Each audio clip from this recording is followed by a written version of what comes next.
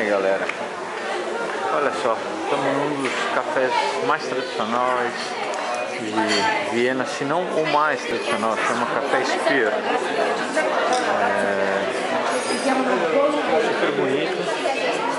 É... Enfim, é uma instituição aqui da, da cidade de 1880. Enfim, Viena é conhecido pelos cafés, né? Vamos provar.